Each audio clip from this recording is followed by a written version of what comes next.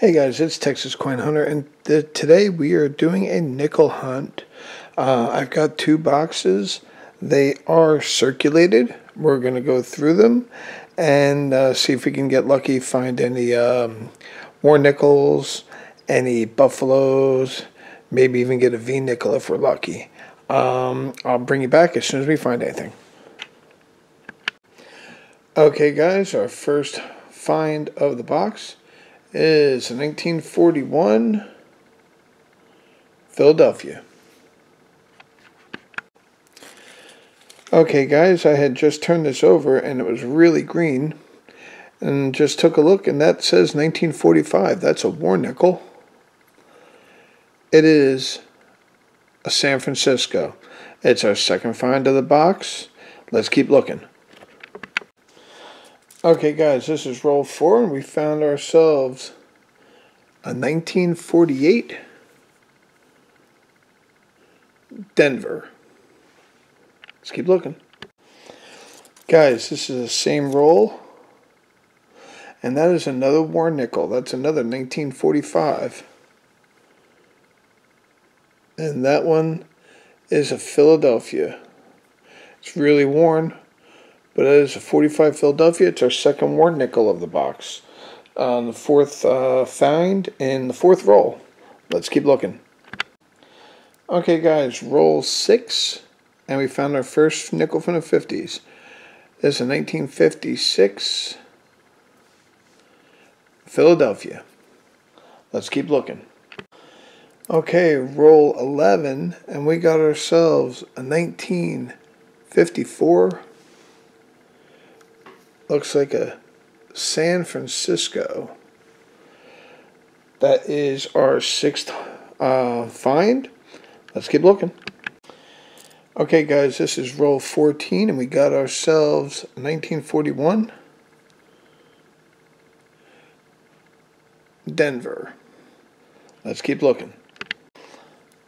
Okay, same roll. We got 1959 Denver. Okay, I didn't see this at first, but that is another war nickel. That's a 1943 Philadelphia. That's our third war nickel of the box. That's huge. Let's keep looking. The same roll, a couple coins later. That is a 1952 Philadelphia. Let's keep looking. The same roll still found in 1953. Philadelphia. Let's keep looking. Okay, I had got really excited, guys. This was on the end, facing out this way. I saw it was in 1942. I didn't know. It is not a silver. So it's a regular 1942 Philadelphia. Let's keep looking. Okay, guys, this is roll 26. And we got ourselves a 1954. And it looks like a Denver. I'll bring you back. Okay, same roll. This is, looks like our oldest nickel so far. This is a 1940 Philadelphia. 24 rolls left. Let's keep going. Okay, guys. Next roll. This is a 1956 Denver. Let's keep going. Okay, guys. This is roll 28. And we have back to back finds. And they are both 1940s. This one's a Denver. And this one's a Philadelphia. 22 rolls left. I'll bring you back. Okay, this is roll 33, and we got ourselves a 1954 Denver. 17 rolls left. Let's keep going. Okay, this is roll 39, and this is 1959 Denver. 11 rolls to go. See if we can get lucky, find some more silver, maybe a buffalo. We'll be back. Okay, this is the same roll to 1954 Philadelphia. Let's keep going. Okay, this is roll 40.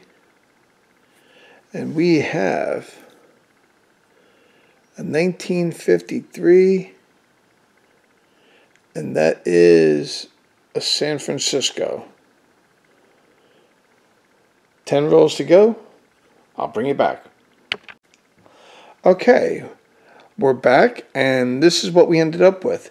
We ended up with three 1940s, two 41s, a 42 non silver, um, a 48, a 52, two 53s, four 54s, a 56, a 58, 259s, and then a 43 war nickel and two 45 war nickels. Uh, so three silver nickels, total 21 finds in the box.